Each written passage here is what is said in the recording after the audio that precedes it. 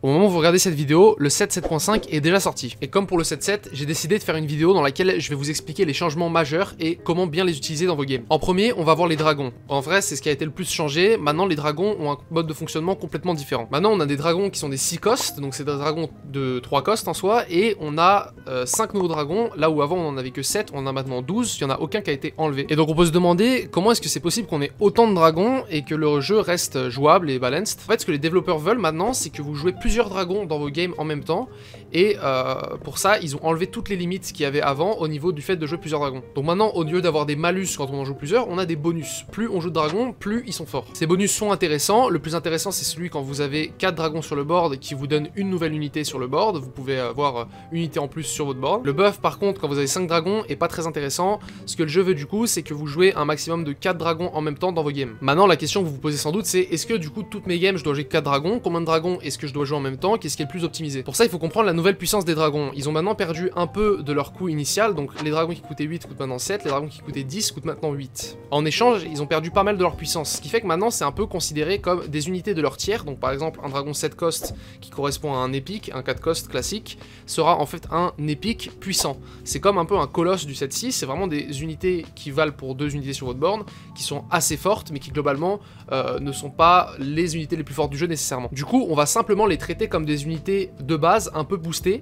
et on va jouer des compos autour quand ça fait du sens. On va pas jouer un maximum de dragons juste pour jouer un maximum de dragons, on va juste construire des compos autour de ces dragons, et si on veut en jouer deux ou trois pour arriver à la compo finale, que ça ait du sens, on le fera, c'est tout. On va jamais vraiment se dire, ah là j'ai pas assez de dragons, il faut que je rende des dragons, c'est pas comme ça que ça marche. En suivant la logique de tout ça, on comprend maintenant que les dragons en early game ont beaucoup moins d'impact. Avant, si on avait un peu de chance, au niveau 5, du coup en début de game, on pouvait voir un dragon apparaître dans notre shop, un dragon qui coûte 8, et qui allait sans doute nous win euh, les 4-5 prochains rounds gratuitement. Maintenant, c'est plus vraiment le cas, ça reste des unités très fortes, mais elles sont euh, plus insta-win comme avant. Et d'ailleurs, en parlant de ça, en parlant d'early je vais vous parler rapidement des dragons Sikos, donc il y en a deux, c'est Nomzi et Zippy. Zippy est une unité très forte en early game et en mid game, ça vous apporte beaucoup de guilds, ça vous apporte des résistances à toutes vos unités, le spell est très fort en early, mais c'est tout, l'unité ne va pas très bien scale, donc c'est une unité que vous pouvez prendre en early game si vous avez les gold pour et que vous êtes sûr de gagner vos rounds quand vous jouez la Zippy, parce qu'elle vaut pour deux unités et elle coûte cher, donc si vous perdez un round en ayant autant investi dans cette unité là, vous allez perdre beaucoup de valeur, et en late, on va sans doute vouloir s'en séparer. Zippy, on peut la remplacer en late souvent par Shivana qui va bien avec Jace. Les deux sont des unités shapeshifter et c'est très fort. Pour ce qui est de Nomzi, c'est un peu différent. Il faut vraiment le tester comme un 3 cost classique assez fort, comme en fait un peu pour les dragons 4 cost. Maintenant, euh, ne prenez pas une Nomzi dès que vous avez dans votre shop.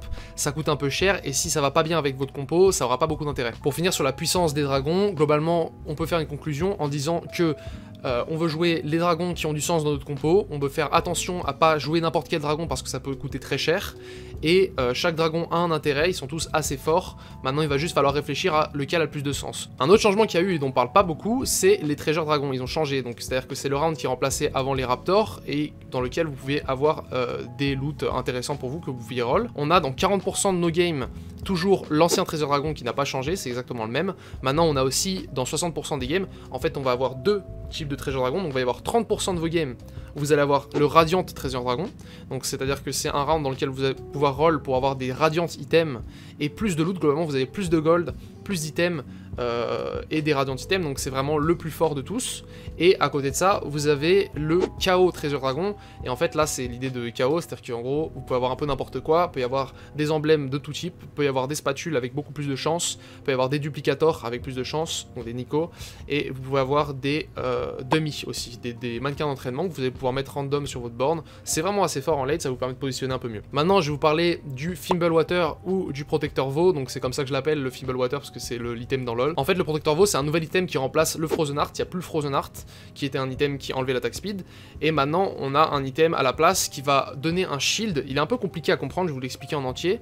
Donc, quand une unité va euh, perdre une partie de ses HP, quand elle va passer à 50% HP, euh, si elle porte cet item-là, elle va donner un shield à toutes les unités dans un rayon de 3 cases. Donc, c'est un assez gros rayon qui vont euh, tout avoir du coup un shield qui va durer 3 secondes, qui équivaut à un pourcentage des HP de l'unité qui a l'item.